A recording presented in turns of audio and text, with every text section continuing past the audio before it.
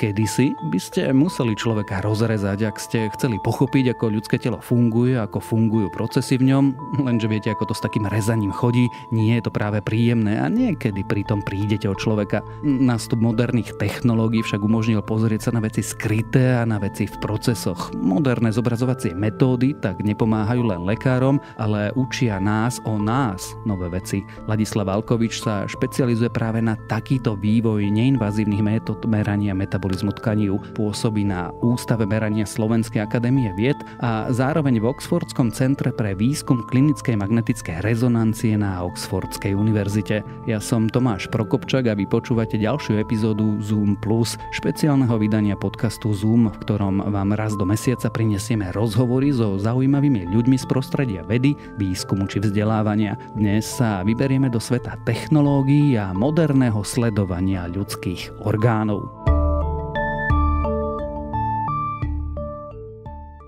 Zvyčajne sa to pýtam takej druhej polovici rozhovoru, ale tu tým začnem. Ako sa človek stane odborníkom na zobrazovacie metódy? Rozumiem, že e, keď sa človek chce stať vedcom, je dieťa, chce byť archeológom, alebo chce byť programátorom, alebo lekárom, alebo ja neviem, e, skúmať zvieratá, ale ako si vyberie zobrazovacie procesy a metódy? To je dobrá otázka. Keď si ste odpovedť, tak mi dajte vedieť, lebo ja teda síce skúmam a využívam zobrazovacie metódy, ale práve to metabolické zobrazovanie nie je až také zobrazovanie, ako to ponímame my e, bežne. Ako som si vlastne vybral túto tému, tak prišlo takým vlastne náhodou a bolo mi tak nanútené, ale som momentálne veľmi rád, že to tak vyšlo. Čo znamená, že nanútené? Znamená to to, že keď som študoval ešte na Žilinskej univerzite, tak som išiel pracovať na diplomovej práci do Viede, do Viedenského centra MR výskumu, takzvané funkčné zobrazovanie mozgu, kedy sa teraz sledujú e, časti mozgu, ktoré reagujú na nejaké podnety.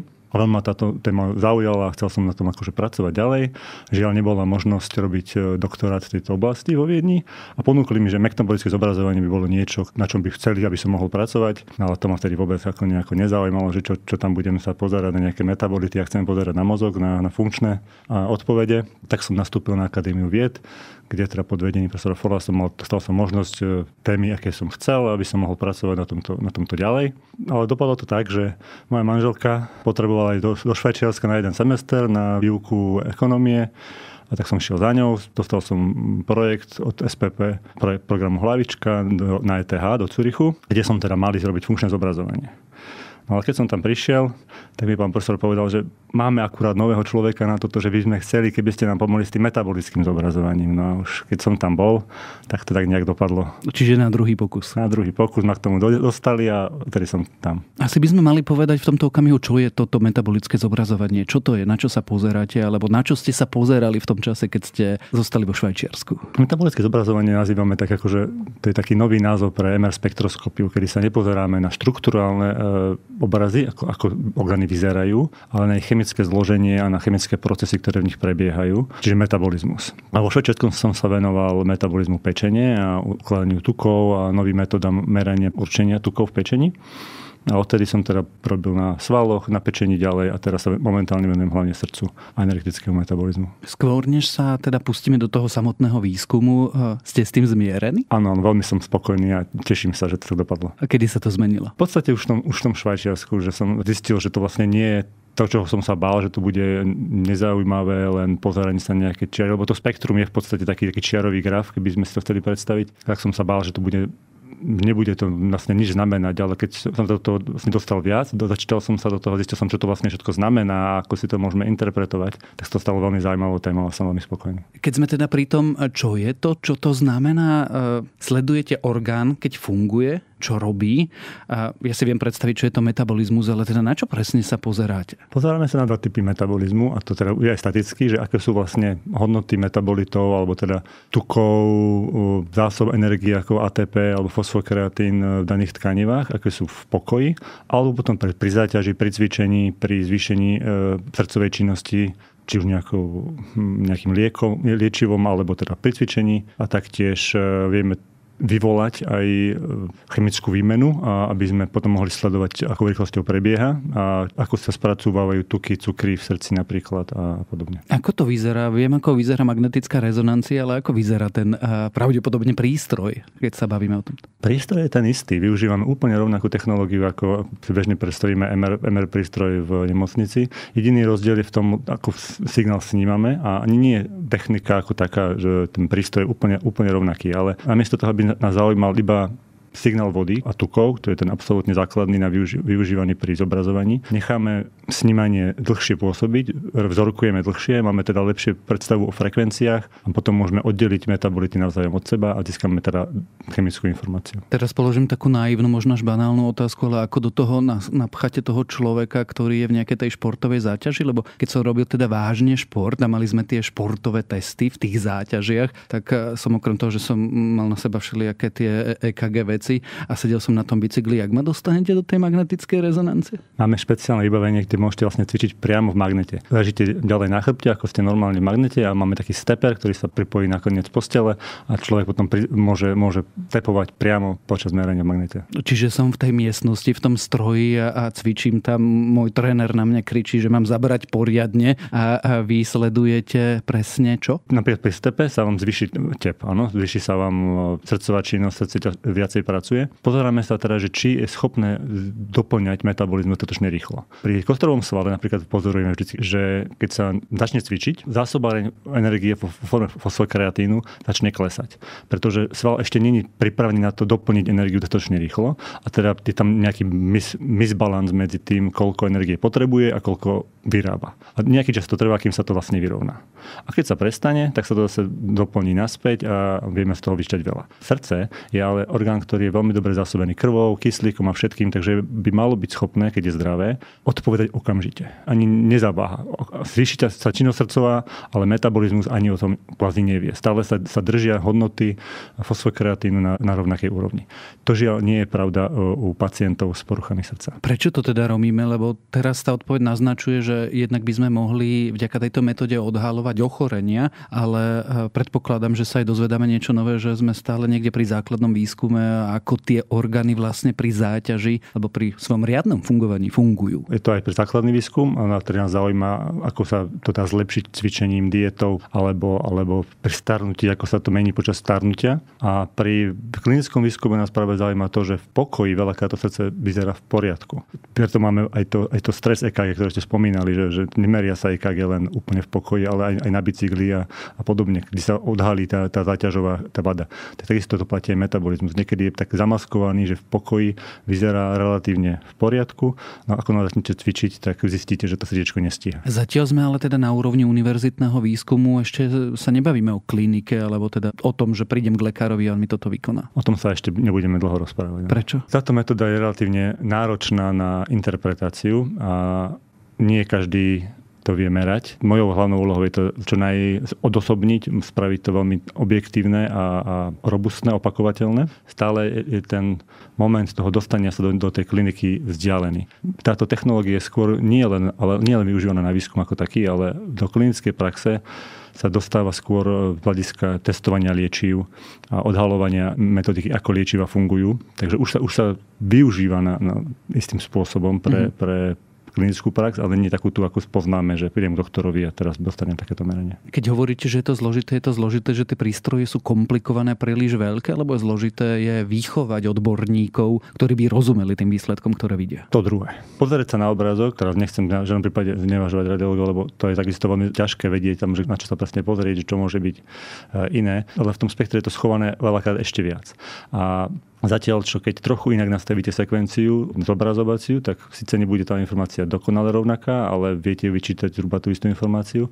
Pri metabolizme sa, sa vám veľakrát môže stať, že keď nastavíte meranie zle, tak informáciu dostanete úplne inú. Čiže sa stane, že, že urobíte chorého zo zdravého človeka opačne. Môže sa to stať, áno. Ja som sa pýtal, prečo to robíme a pýtal som sa tak všeobecne, že prečo robíme ten výskum. Prečo to robíte vy? Prečo to robím ja? Naozaj mňa to, mňa to veľmi fascinuje, tento výskum. A ako som sa k tomu dostal, tak som pri tom dotrval a stále objavujem nové veci, ktoré ma natchnú no, ľudí, ktorými spolupracujem tak tu na Slovensku, alebo ako som predtým vo Viedni, alebo teraz v Oxforde. Veľa ich zaujíma, ako pomôcť ľuďom, ako nazrieť do do ich možností. Je to skvelý pocit e, prinášať tieto nové techniky a umožňovať ďalším ich potom použiť na, na odhalovanie nových, nových uh, informácií. Prekvapilo vás niečo? Mali ste alebo nejakú hypotézu alebo predsudok a ukázalo sa, že ono to vlastne tak nefunguje? Občas sa takéto, takéto veci naozaj stávajú. Sledovali sme rýchlosť e, práve tohto budovania energie v srdiečku, to je kinázovú reakciu. A mali sme takú teóriu, že vlastne to srdiečko bude stále táto reakcia klesať od, od zdravého človeka cez obezitu k diabetu a potom k, k zliehavacému srdiečku, že to vlastne bude taký nejaký schodovitý, schodovitý pokles. No ukázalo sa, že ľudia s nadváhou veľakrát, aby udržali to srdiečko funkčné, tak, tak naopak majú túto rýchlosť chemickej výmeny rýchlejšiu. Namiesto takého schodovitého poklesu najskôr schodík dohora a potom sa až pokračovalo e, dolu. Keď sme sa rozprávali, e, spomínali ste, že jednak sledujete svaly pri kostiach, sledovali ste pečeň, sledujete srdce. Je to veľmi odlišné? Každý tento orgán je špecifický a nedajú sa využiť techniky priamo z jedného na druhý, ale veľakrát sa dajú niektoré veci použiť a, a využiť. Srdce je v podstate sval, aj keď je teda iné, ako som spomínal, tak stále platí to, že tie metabolity sú tam rovnaké, trošku v inom pomere, ale, ale, ale sú tam. S pečinou naopak zase spoločné to, že sa taktiež hýbe pri dýchaní a, podobne.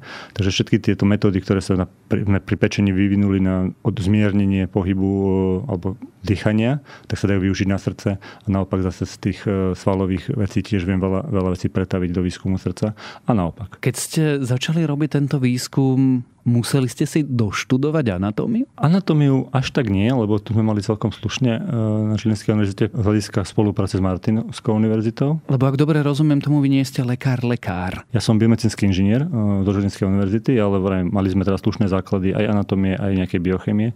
Ale, ale áno, také tie presné už e, popisy tých chorôb a ako presne vplyvajú na človeka. Veľakrát si musím stále doštudovávať, e, keď prídu s niečím novým kolegovia a klinici. Ale na to je to tiež krásne, tá spolupráca s, s klinikou a s, s lekármi a fyziológmi, že sa človek veľakrát naučí niečo nové. Pýtam sa práve preto, aby som mohol položiť nasledujúcu otázku a tá je, koľko toho vlastne nevieme? O fungovaní takého srdca? Myslím si, že oveľa viac ako vieme. Napriek tomu, že už vieme pomerne dosť. Niekedy až odmýšľame, či ešte je niečo, čo skúmať. Vždy objavíme, že toho naozaj je ešte dosť. Na čom robíte práve teraz? Ako som spomínal, mojou momentálnou úlohou je tie merania metabolizmu, tak si povedať, odosobniť od toho, kto, kto meria, kto vyhodnocuje dáta a snažiť sa ich spraviť potom čo najpresnejšie a naj opakovateľnejšie, aby také isté hodnoty metabolizmu boli namerateľné hoci kde e, vo svete. Takže snažíme sa odstraňovať práve tie pohyby pri dýchaní. Keď meriame metabolizmus, tak veľakrát srdiečko rozdelíme na niekoľko voxlov, niekoľko častí. Potom je taký typ pozmiek, že ktorý voxel si vyberieme. A to je veľmi zlé, pretože záleží od e, vzdialenosti, od, od svalov, akú, akú hodnotu by sme mohli dostať. Ako som spomínal, to je takéto subjektívne e, riešenie. Ale máme teraz metódu, ktorou sa proste detekuje celé srdiečko, dostane sa jedna, jedna hodnota a je to veľmi objektívne, alebo nedá sa potom už vyberať, že ktoré, ktoré sa mi viacej páči. A potom snažíme sa prísť novým technikám, napríklad ako som spomínal tú metódu merania kreatinkinázovej reakcie. Teraz som, sme prišli s novou metódou s kolegom na meranie reverznej reakcie ATP hydrolízy, čiže ako rýchlo sa, sa zásoby energie míňajú a ako sa pretavujú na, na prácu srdiečka. To je dobré na čo, aby sme pochopili, eh, či to srdce funguje správne, alebo či eh, tam nemáme nejaké vyčerpávajúce procesy? Je to veľmi dôležité, aby sme vedeli, áno, že koľko energie má vlastne srdce k dispozícii na tú svoju prácu. Aby sme vedeli sledovať, ako, ako vie zareagovať na zvýšené požiadavky. Tej prvej polovici e, vlastne už niekoľkýkrát spomínate, že sa chceme pri tej celej aplikácii tej metódy odosobniť, zbaviť tých subjektívnych nánosov, tých jednoduchých e, anomálií, ktoré do toho pri zlom použití môžeme vnášať. A je problémom človek? Ja vždy vravím, keď, keď prídu za mnou kolegovia, že majú nejaký problém, že problém je väčšinou medzi stoličkou a monitorom. Takže, takže áno. To znamená čo, že sa obzeráte treba spolu umelej inteligencii, ktorá by to vyhodnocovala sama. Teraz by sme chceli áno, aj práve túto segmentáciu toho, toho srdca z toho obrazu na, na vyhodnotenie by sme chceli urobiť e, pomocou AI. Áno. Znamená to, že budúcnosť medicíny je aj taká, že tam bude menej lekárov a viacej technológií? Nemyslím si, že bude menej lekárov. Lekárov je vždy potreba, pretože aj keď ten počítač vie upresniť nejakú informáciu, nevie naozaj zistiť to, čo, čo, čo lekár. Takže tam bude dôležitá súhra medzi, medzi lekárom a, a počítačom technológiou. Rozprávali sme sa teraz o vašom výskume, o tom, čo robíte. Preskočím trochu ďalej. Ako sa vlastne chlapec od Trenčína dostane do Oxfordu? Študoval som v Žiline, počas štúdia som e, mal to šťastie, že som teraz poznal moju manželku, ktorá v tom čase študovala vo Viedni a tak som sa teda tam vybral na tú diplomovú prácu. Po Cúrichu som sa vrátil na Slovensko na Akadémiu vied a Pýtal som sa, či teda ešte stále majú záujem o niekoho, kto vyrobil spektroskopiu metabolické zobrazovanie vo Viedni. A keďže mali, tak som už počas doktorátu na pár dní do týždňa začal pracovať vo Viedni. Po skončení ma tam zobrali na plný úvezok.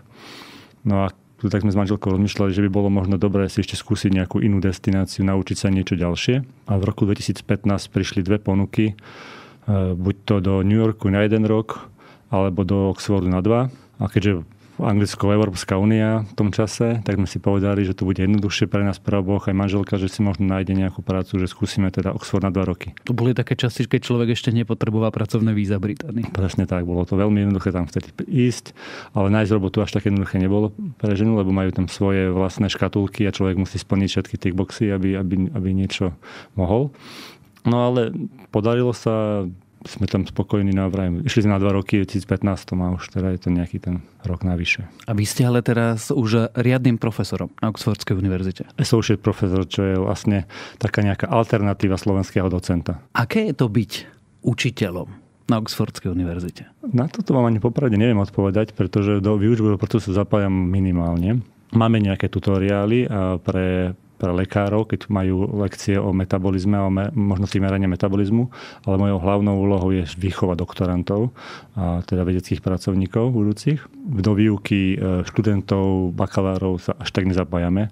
Máme teraz plán to, toto zmeniť, ale zatiaľ vám na to neviem úplne presne odpovedať. A viete ale porovnať minimálne to postavenie vedca? Vedca z Oxfordskej univerzity, vedca pôsobiaceho vo Viedni, alebo teda na Slovensku? Na slovenských vedcov nedám dopustiť. E, to, to zase nemyslím si, že by nemali e, postavenie, alebo tak určite majú menšie možnosti hľadiska financovania vedy a, a podobne, ale, ale veľa, keď sa vynikajúci výskum deje na Slovensku samozrejme a vo svete sú uznávaní aj slovenskí veci. Smerujem totiž to k tomu, či je to z pohľadu človeka, osoby, nejaký typ dosiahnutej méty, že, že keď ste boli malý chlapec a teda ešte ste netušili, že budete robiť zobrazovacie metódy, ale, ale že, že povedať si, že fíha, tak ja som vlastne oxfordským učiteľom. Plním si sny, je to, je to pravda. Už k vede som sa teda začal dostávať až po, počas vysokej školy, ale, ale veľmi som potom tužil pokračovať ďalej a chcel som sa stať povedzme docentom do 40 čo sa teda ako tak podarilo a teraz pracujem na na doktorovi vied e, na, na titule a, tak stále sa tak ešte je kam sa posúvať tak verím, že sa ešte podarí čo to. Plánujete tam zostať v tej Británii? Špeciálne potom, ako Británia nie je členom Európskej únie a všetko je komplikovanejšie. Je to značne komplikovanejšie. A získa aj, aj financovania vedie je to, je to komplikovanejšie, lebo vlastne človek si vlastne na seba musí zarobiť sám. Že ja mám momentálne vlastný projekt, ktorého sa financujem a ešte 3 roky budem. Takže tento čas tam, tam dotrváme určite a ak sa potom podarí e, predlžiť, tak budeme radi. Deti sa tam narodili a, a sú tam spokojné. Zatiaľ teda nemáte definitívu? Zatiaľ teda nemám definitívu, nie. Čo vás na vede baví? Veda má veľa, veľa výhod pre mňa. Hlavnou teda je samozrejme obnovovanie nového, ale, ale čo je tiež úžasné je to, že človek si môže povedať, a teraz by mohlo byť zaujímavé spraviť toto. Není ničím viazaný, že, že, že musí teraz príde niekto šéf a, a rob, rob toto. Môžete sa kľudne pozrieť doľava a robiť niečo iné, ak máte pocit, že, je to, že to bude zaujímavé a bude to prínosné. A taktiež tá možnosť testovať, poznávať ľudí a je veľ, veľmi plakavá pre mňa. Je to náročné s rodinou vlastne sa presúvať, alebo vo vašom prípade je to koľko to? Štvrtá krajina, kde pôsobíte vedecky? Je to náročné veľmi, ale zatiaľ sme sa presúvali, keď sme boli iba dvaja, a takže nemám ešte skúsenosti presúvať celú rodinu a popravde sa ani nechystám takéto niečo v dohľadnej dobe e, riešiť, lebo mám kolegov, ktorí to museli riešiť, riešili, je to možné, ale nie je to vôbec jednoduchý e, projekt. Sklbiť, e, skúbiť vedu s rodinou je, niekedy je to jednoduché, pretože môžem si povedať, že budem pracovať až večer a môžem teraz sa venovať dieťaťu, ktoré je choré, kým príde manželka z práce. A, a niekedy je to zase náročné, keď máme nejaké deadline, musím napísať projekt a potrebujem sa sústrediť a všetci okolo mňa behajú a kričia, ale patiaľ, patiaľ všetko zvládame. Neplánujete návrat na Slovensko? Pretože keď sa takto rozprávam s mnohými vecami, tak nakoniec práve povedzme, že sociálne zázemie, rodinné zázemie býva často tým dôvodom, že sa vrátia domov. Ak je to ešte teda domov pre nich vôbec. Toto sa mojej mame nebude páčiť, ale pre mňa je domovom tam, kde je moja žena s deťmi. My sme teda obidva jedináčikovie, takže vlastne najbližšiu rodinu máme len, len, len rodičov našich a potom bratrancov a sesternice. A samozrejme, že nám chýbajú a veľmi radi vždy prídeme. Ja Slovensko chodím častejšie a oni chodia za nami. Takže máme, máme časté spojenie s rodinou, ale návrat priamo teraz e, ne, nepredpokladám a ne, nepočítam s ním. Možno, možno neskôr. Možno je to uh, hlúpa otázka, ale ako sa vlastne žije v cudzom prostredí alebo pôvodne cudzom prostredí uh, človeka, ktorý vlastne pochádza z inakade, je vôbec vnímaný v akademickom prostredí ako cudzinec, ako niekto, kto prišiel zvonku? Akademické prostredie je naozaj veľmi medzinárodné a možno, že dokonca sú Briti v menšine u, u, u nás na oddelení, takže nie je to také, že by človeka vnímali, že je ako samozrejme všetci vedia, že mám prizvuk a že nie som teda eh, angličan, ale, ale nie, nie, mi to nedalo na pocítiť, že by som bol niečo menej alebo, alebo niečo podobné. Čomu by ste sa chceli venovať? Lebo povedali ste pred chvíľou, že eh, jedno z najväčších výhod vedeckého prostredia, robenia vedy ako také je tá sloboda. Sloboda naformulovať hypotézu, sloboda urobiť experiment, nesloboda vyplniť papiere a získať peniaze. Ale keby ste mali teda tú slobodu väčšiu, alebo najväčšiu, alebo akúkoľvek možnú, čomu by ste sa chceli venovať? Čo by ste chceli skúmať pokojne v tom, čo robíte? Momentálne ma veľmi zaujíma také nejaké to prepojenie tých orgánov. Chcem, chcem sa pozrieť na fungovanie pri daných chorobách, ako, ako sa mení srdiečko, sval a pečeň spolu. Nie. Veľakrát si výskumné agentúry, ktoré grantové vyžadujú, aby sa človek zameral na jednu konkrétnu vec. A to je trochu, trochu obmedzujúce, ale, ale snažím sa prenikať do, do týchto štruktúr a, a nájsť si vždy nejaký extra projekt na iný orgán vlastne na tých istých pacientoch a potom to tak trochu spojiť, prepojiť, aby sme zistili, ako sa vlastne naše telo je komplexný orgán. To nie, nie je jeden orgán funkčný v miske a iný orgán v inej miske. Je to všetko pekne prepojené a musíme sa na to pozrieť e, tak globálnejšie. Prečo je toto ťažké? Pretože pre mňa je úplne prirodzené, že veď e, existuje telo ako zloženie mnohých vecí, mnohých orgánov, mnohých procesov. Prečo je vlastne ťažké? Alebo prečo tie agentúry, e, tie inštitúcie sa na to pozerajú tak partikulárne, že, že chcem sa pozrieť iba na to a na to a na to. Veľakrát je už tak nejak historickejšie dané, že sú v krajine inštitúty, ktoré sú špecializované na niečo. A keď sa niekto špecializuje inde na pečeň, tak už potom im príde také, že prečo by sme mali financovať vás výskum na pečeň, keď dávame im kopu peňazí na, na práve na niečo takéto. Ale, alebo len proste preto, že majú pocit, že vždy to hodnotia ľudia. Každý ten grant číta nejaký človek. Takže keď má pocit, že sa mu to nepáči, to jednoducho e, neprejde. Mení sa to? Lebo napríklad e, imunitný systém sa dlho skúmal ako imunitný systém. Dnes už vieme, že bez črevného mikrobiomu sa pri skúmaní imunitného systému vôbec nepohneme. Mení sa tento náhľad? Pomaly, ale isto sa toto naozaj mení. Mám práve teraz rozbehnuté kolega, tiež chce zistiť imunitný systém a zmeny v imunitnom systéme hľadiska srdiečka a toho, že mitochondrie, ktoré nefungujú, potom stanú toxickými pre srdce ako také. Imunitný systém by ich mohol odbúravať, odstraňovať. A máme tiež možnosti pri ochorení tzv. chronickej únavy, kde sa áno aj mikrobióm, aj, aj metabolizmus svalov a spojenie takisto s fungovaním mozgu musí, musí navzájom prepojiť, pretože veľakrát tá diagnoza je tak všeobecná, že nevieme potom preniknúť do toho, čo naozaj toho človeka trápi a ako, ako mu pomôcť. Kedy budete spokojní v zmysle, kedy si poviete eh, pri vašom vlastnom výskume, pri vašej vlastnej práci, že dobre, to sa mi podarilo? Mojím veľkým snom je dostať sa k tomu, čo sme vlastne spomínali na začiatku, že by, že by bolo možné tieto merania využiť v klinickej praxi, že by nejaké centrum existovalo. Nebude to v každej nemocnici, to tak, až, až tak ďaleko moje sny nesiahajú, ale že by bolo možné referovať človeka, dobre, choďte si nechať spraviť fosforové meranie a potom sa na základe toho rozhodneme. Teraz položím tú zákernú otázku a to bude o koľko rokov? Kedy aký dôchodkový vek? Podľa toho, koho a v ktorej krajine a či sa my vôbec dožijeme nejakého dôchodku. Tak, tak nejak to, to vidím aj ja. Čiže to je ako tokamak každých 10 rokov sa povie, že to bude o 30 rokov. Keby ste si mohli znovu vybrať kariéru, znovu urobiť tie rozhodnutia, povedzme už ako stredoškolák, ako vysokoškolák, Vybrali by ste sa znovu cestou vedy? Myslím si, že áno. Prečo? Lebo som nič nevyskúšal. E, taká jednoduchá otázka. Človek je vždy spokojný s tým, čo pozná. Ak je s tým hlavne spokojný, tak, tak nemá, nemá dôvod meniť. Ja som napríklad na strednej škole ani netušil, že by som chcel robiť biomedicínske inžinierstvo. Ja som tužil byť programátor. Až, až v patologickom ročníku tesne pred skončením, keď bolo treba podávať prihlášky, prišla moja mama s tým, že a toto je zaujímavé, to by si mohlo, mohol chcieť pretože chcela mať doma lekára a ja som teda k medicíne nemal nejaký vzťah, tak sa jej zdalo, že toto by bola taká ľahká možnosť, ako ma k niečomu podobnému dostať. Čiže taký rodinný kompromis. Taký rodinný kompromis, no len ja som teraz stále bol viacej k tej technológii, takže keď som snažil pýtať nejaké diagnostické otázky doma, tak som sa to snažil vždy odbiť. Čiže by ste sa rozhodli rovnako? Myslím, že by som sa rozhodol rovnako, áno. A naopak je niečo, čo vás štve na vede, na vašom fungovaní na celom tom prostredí, či už tu, alebo vo Veľkej Británii? Je to zložitá otázka. Všade, všade sa dá vytnúť najmä, najmä to, že vedci, ktorí sú šikovní, ako som spomínal, nemajú, nemajú možnosti a prostriedky. Chyba financovanie. Tu je to viacej o tom, o tom financovaní tých e, experimentov ako takých, e, prístrojov vybavenia a podobne. Zatiaľ, čo v tom, v tom zahraničí je to veľakrát o tom, o tom vybavení tých, tých ľudí a o ich, o ich platoch, o tej nestabilite, o tom, že vlastne človek sa každých pár rokov bojí, či ešte bude mať miesto to ne, neprospieva ničomu. Je to prostredie až toxicky súťaživé? Je. Poviem to tak, že keď som prišiel do Oxfordu, tak som tam šiel ako postdoc na kolegov projekt, takýto ako mám ja teraz.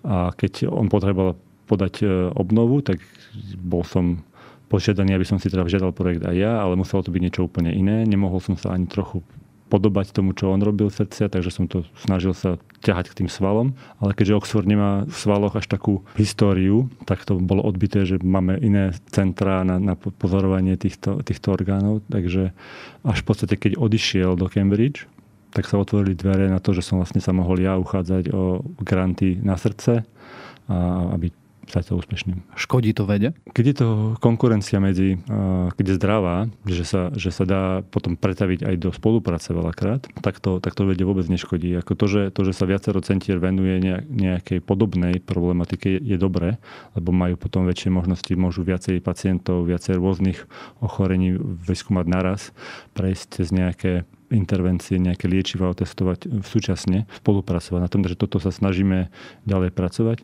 Ale keď je to naozaj o tom, že chceme robiť tú istú vec alebo, alebo zabijeme ten projekt, lebo chceme robiť niečo podobné, tak to naozaj vedie, vedie škodí. Dá sa s tým niečo urobiť? Dá sa to opraviť? Pretože rovnako ako sa uh, už dnes nahlas rozprávame o tom, že príliš zahladenosť na scientometrické kritéria môže poškodzovať samotný vedecký výskum, aj toto, tá prehnaná súťaživosť? Dá sa s tým niečo urobiť? To je dobrá otázka, no ale na ňu nemám žiaľ odpoveď, lebo neviem, čo by sa s tým urobilo. Ľudia chcú, každý sa chce presadiť, každý chce, každý chce niečo. Čo sa dá s tým spraviť je len to, že, že nebudú tí mladší, povedzme, e, utlačení a nevyslyšení, keď chcú robiť niečo podobné ako ich starší kolegovia, ale dostanú takisto možnosť e, to vyskúšať. Tak budeme držať palce, aby sa to podarilo a aby vlastne veda bola otvorenejšia, transparentnejšia a zároveň pochopiteľnejšia aj pre širokú verejnosť. Počúvali ste teda Zoom Plus, špeciálne vydanie podcastu Zoom. Naším hostom bol odborník na zobrazovacie metódy Ladislav Alkovič. Ja som Tomáš Prokopčak a pri ďalšom z tejto série rozhovorov sa počujeme o mesiac. Podcast Zoom však naďalej vo svojej klasickej podobe s novinkami z vedy vychádza každý týždeň a to v stredu.